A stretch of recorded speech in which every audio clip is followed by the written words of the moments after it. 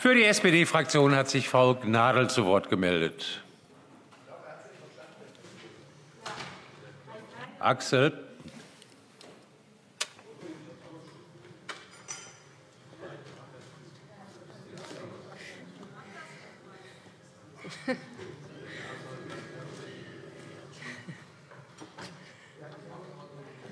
Manchmal tut so ein Kaffee auch ganz gut. Ja, meine,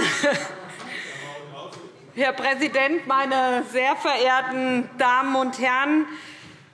Vor fünf Jahren haben sich SPD und FDP hier im Hessischen Landtag auf den Weg gemacht und einen eigenen Gesetzentwurf zur Einrichtung eines äh, Landeselternbeirats für die Eltern von Kitakindern hier in den Hessischen Landtag eingebracht. Das war vor fünf Jahren. 2019 haben wir den zweiten Versuch gestartet und erneut gemeinsam hier einen Gesetzentwurf in den Landtag eingebracht. Jetzt, fünf Jahre später, kommt ein Gesetzentwurf von CDU und GRÜNEN hier in den Landtag. Und, meine sehr verehrten Damen und Herren, er bleibt auch hinter unseren Erwartungen zurück.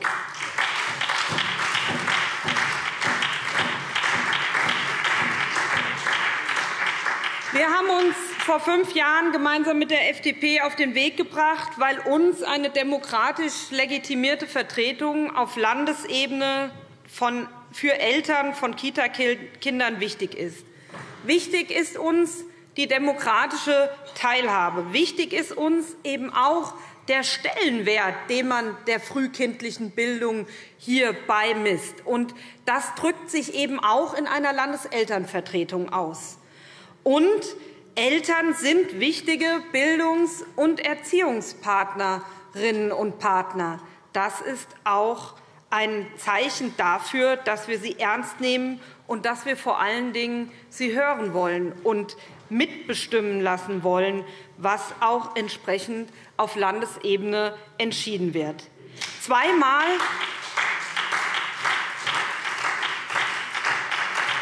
Zweimal wurde von Ihnen die Gesetzentwürfe bereits abgelehnt.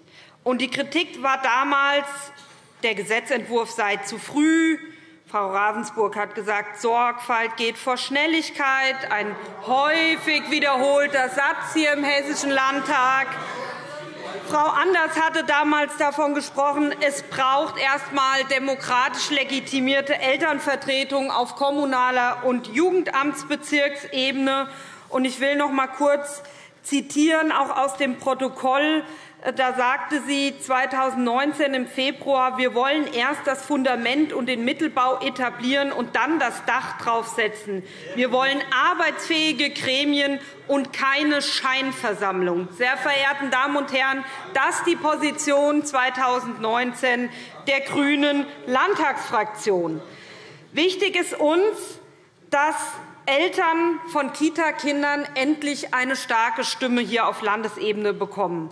Und gerade dieses langwierige Verfahren, auch dieses Gesetzentwurfs, das zeigt doch einmal mehr, wie notwendig eben eine solche starke Stimme von Kita-Eltern hier auf Landesebene ist.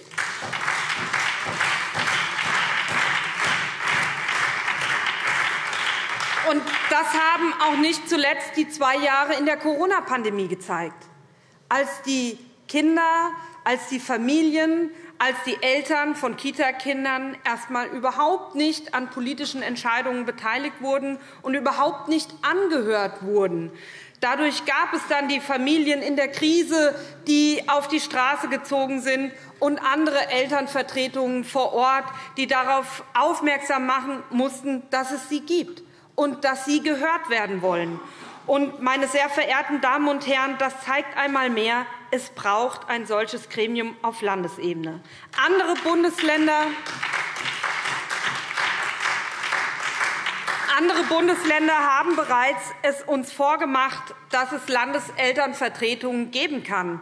Und Hessen ist hier wirklich mit eines der Schlusslichter, ähm, das noch keine Landeselternvertretung eingeführt hat. Im schulischen Bereich ist es überall selbstverständlich. Im Kita-Bereich musste man jetzt hier jahrelang darum auf Landesebene kämpfen. Und meine sehr verehrten Damen und Herren, das hat auch etwas mit Respekt gegenüber der Elternarbeit zu tun, gegenüber den engagierten Eltern, die auch mit uns seit fünf Jahren Seite an Seite gekämpft haben für ein solches Landeselternbeiratsgremium. Und das Eckpunktepapier, das ausgearbeitet wurde von der LAG Kita Eltern Hessen, das ist ja wirklich sehr, sehr umfangreiches Papier. Ich habe es heute noch einmal auch vor dieser Gesetzeslesung noch einmal sehr, sehr sorgfältig durchgelesen. Fünf Seiten lang, äh, ein fünf Seiten langes Eckpunktepapier, in dem im Detail beschrieben ist, wie ein demokratisch legitimiertes Verfahren einer solchen Wahl auch aussehen kann und wie man das entsprechend auch hier in Hessen etablieren kann. Und da verwundert es schon, dass Sie angesichts eines solchen Eckpunktepapiers die LAG Kita Eltern Hessen, die auch aus engagierten ehrenamtlichen Eltern aus einem Vorstand besteht, die sich wirklich jetzt jahrelang hier aktiv engagiert haben, dass die noch nicht einmal in ihren Gesetzentwurf mit beteiligt wurden. Das wäre doch das Mindeste gewesen, wenn man erst nach fünf Jahren mit einem solchen Gesetzentwurf hier um die Ecke kommt. Wäre es das Mindeste gewesen, diese engagierten Eltern an ihrem Gesetzentwurf zu beteiligen, meine sehr verehrten Damen und Herren. Und deswegen verwundert es eben auch nicht, dass sich so wenig von diesem Eckpunktepapier am Ende in dem vorliegenden Gesetzentwurf wiederfindet. Ja, meine sehr verehrten Damen und Herren, das zeigt eben auch die Schwäche Ihres Gesetzentwurfs aus, dass Sie eben keine kommunale Struktur von Stadt- und Kreiselternbeiräten wirklich etablieren wollen. Das, da lassen Sie es bei einer Kann-Regelung. Und Ihr ursprüngliches Ziel, die Strukturen von unten aufzubauen, das scheint irgendwie nicht mehr existent zu sein. Und schlimmer noch, dort, wo es jetzt bereits Bewegungen auf Kreisebene gibt. Wir haben das aktuell in Groß-Gerau erlebt, die ähm, Einführung eines Kreiselternbeirates. Dort, wo es vor Ort jetzt Strukturen geschaffen werden, sind diese gar nicht mehr in ihrem, in ihrem Wahlverfahren überhaupt vorhanden. Die existieren da gar nicht. Und wenn man Strukturen von unten aufbauen will und diese dann nicht beteiligt, auch an einem Wahlverfahren, dann verstehe ich nicht, wie wie das zukünftig mit den kommunalen Strukturen weiter aussehen soll. Und ich finde, das Beispiel von Groß-Gerau zeigt einmal mehr, dass es da auch einen Landrat gibt, der keine Angst vor einer verfassten Elternschaft hat. Frau Nagel, kommen Sie bitte zum Schluss. Ich komme zum Schluss. Meine sehr verehrten Damen und Herren, es wird Zeit, dass es einen Landeselternbeirat hier auf Landesebene gibt. Ihr Gesetzentwurf ist ein erster Schritt. Es ist ein Zwischenstand, aber auch keinstenfalls ein Endprodukt. Und insofern kann man nur hoffen, dass wir tatsächlich auch andere Mehrheiten hier im Landtag dann haben werden nach der nächsten Landtagswahl und damit einen neuen Gesetzentwurf. Aber, meine sehr verehrten Damen und Herren, wichtig ist, dass wir jetzt in einem ersten Schritt eine Landeselternvertretung hier in Hessen bekommen. Vielen Dank.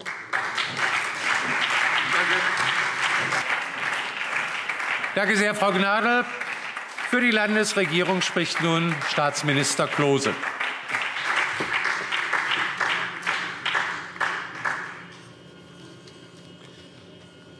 Herr Präsident, meine Damen und Herren! Ich will vielleicht äh, eine letzten Sätze von Lisa Gnade ähm, durchaus aufgreifen. Ich hoffe, dass wirklich niemand äh, in diesem Land an irgendeiner Stelle Angst vor zusätzlicher Beteiligung hat, weil Beteiligung demokratische Prozesse immer stärkt. Wir haben heute früh in einem anderen Kontext darüber auch gesprochen.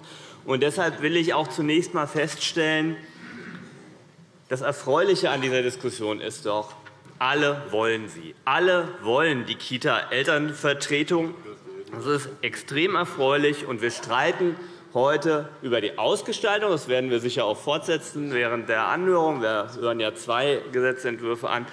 Und wir streiten ein bisschen über die Vergangenheit und Genese. Und das ist auch in Ordnung. Aber ich möchte den Blick nach vorne richten. Meine Damen und Herren, die Koalitionsfraktionen haben auch nach Ansicht der Landesregierung mit diesem Gesetzentwurf eine ausgesprochen gelungene Lösung vorgelegt, um Eltern mehr Einfluss auf die Bildung, Erziehung und Betreuung ihrer Kinder in Kindertageseinrichtungen zu ermöglichen. Mit diesem Gesetz wird eine demokratisch legitimierte Struktur zur Wahl einer Landeselternvertretung geschaffen und gleichzeitig wird die kommunale Zuständigkeit für die Kinderbetreuung gewahrt. Und genau in diesem Spannungsfeld haben wir uns doch ein Stück weit bewegt. Und es ist bei einem solchen Gesetzentwurf ganz grundlegend, und das ist auch geschehen, dass im Vorfeld mit den beteiligten Akteurinnen natürlich beraten wird. Das haben die Fraktionen von CDU und BÜNDNIS 90 die GRÜNEN auch ausführlich getan. Wir haben es gehört. Und selbstverständlich gehören zu den wichtigsten Akteurinnen die vom Land finanzierte Servicestelle Kita-Eltern Hessen, getragen von der LAG, und der Landesjugendhilfeausschuss, äh, Frau Gnadl, dem gehören ja auch Sie an. Und bei den Beratungen ist ganz deutlich geworden, dass es ein schlankes Verfahren braucht, damit die Landeselternvertretung zügig ermöglicht wird.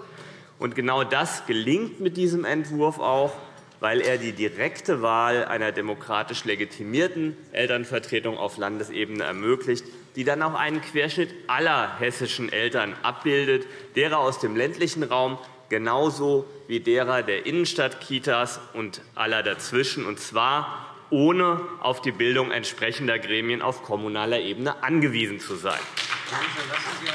Fragt Frau Böhm zu. Ich trage jetzt im Zusammenhang vor, der Kern dieses Gesetzentwurfs ist die Landeselternversammlung. Für jeden Jugendamtsbezirk in Hessen können je eine Delegierte oder ein Delegierter sowie eine Stellvertretung der Eltern, deren Kinder in Kitas betreut werden, gewählt werden. Und Gleiches gilt auch für die Eltern der Kinder, die bei Kindertagespflegepersonen betreut werden. Ihre Wahl erfolgt in den Kitas und bei den Kindertagespflegepersonen direkt. Und so entsteht dann auch eine Struktur, eine gute, eine wachsende Struktur, die die Eltern vernetzt, die gegenseitige Beratung untereinander ermöglicht und die sie darüber hinaus bei allen wichtigen Entscheidungen der Kinderbetreuung anhört und dafür sorgt, dass sie in den entsprechenden Gremien mitberaten. Und durch diese demokratische Wahl der Landeselternvertretung, das ist wirklich eine große Stärke dieses Entwurfs, ist gewährleistet, dass die Stellungnahmen und Beiträge breit getragen werden. Denn das ist wichtig. Denn auch die Interessen der Eltern von Kitakindern, von Tagespflegekindern, vom Land und aus der Stadt in Vollzeit- oder Teilzeitbetreuung, die unterscheiden sich durchaus, und sie sollen alle repräsentiert sein. Dieser Gesetzentwurf wird diesem Anspruch im Gegensatz zu den Gesetzentwürfen der Vergangenheit auch wirklich gerecht, meine Damen und Herren. Gleichzeitig sorgt die Landeselternversammlung für den Informationsfluss in die einzelnen Jugendamtsbezirke und damit zu den Eltern zurück. Neben der Landeselternversammlung haben wir die Landeselternvertretung. Sie wird aus einer oder einem Vorsitzenden sowie bis zu zwei Stellvertreterinnen oder Stellvertretern und neun weiteren VertreterInnen bestehen, von denen zwei aus dem Bereich der Kindertagespflege stammen müssen. Durch dieses Quorum wird gewährleistet, dass auch die Repräsentanz der Kindertagespflege vorhanden ist.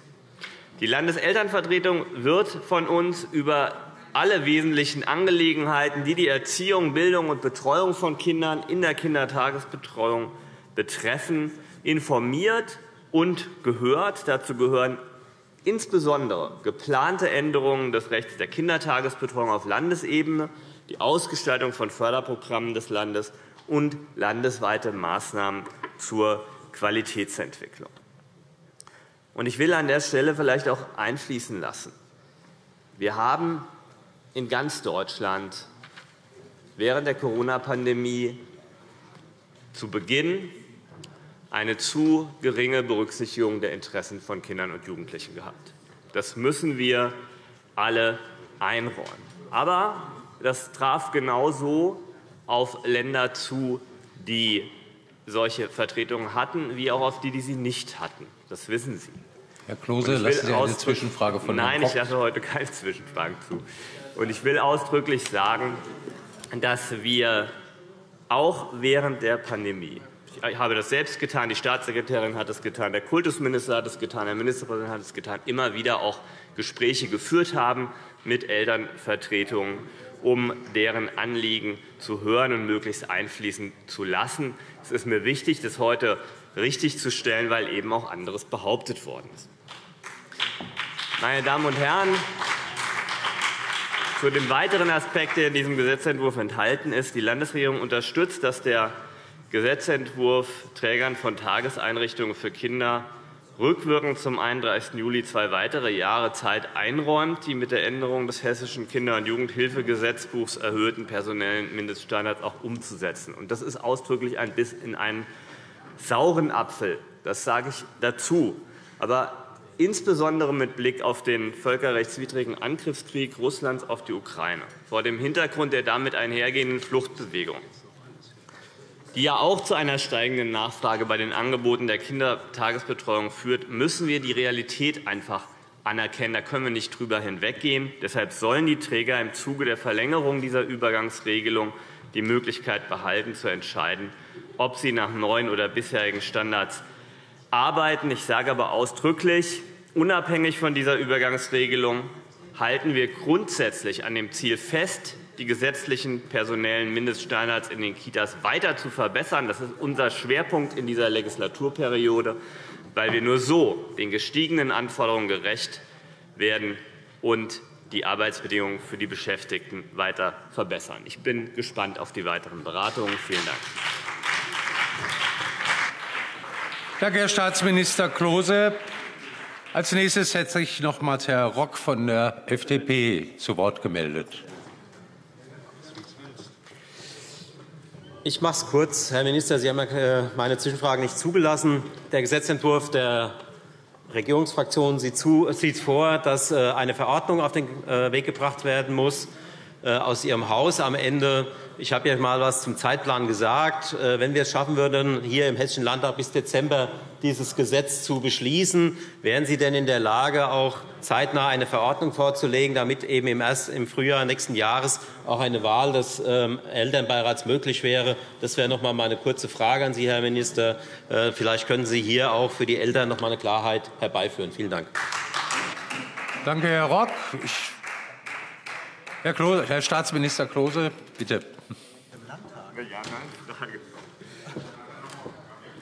Also, Herr, Herr Rock, das Gesetz ist ja jetzt im Landtag. Wir beschließen es dann äh, zum Ende des Jahres, genauso wie es die äh, Rednerinnen der Koalitionsfraktionen äh, vorgestellt haben. Und selbstverständlich werden wir alles dafür tun, dass die Verordnung dann auch entsprechend rechtzeitig in Kraft tritt, damit wir Anfang des Jahres auch äh, die entsprechenden Wahlen durchführen können. Vielen Dank. Danke, Herr Staatsminister. Wir sind am Ende der ersten Lesung angekommen und überweisen den Gesetzentwurf zur Vorbereitung der zweiten Lesung in den SIA.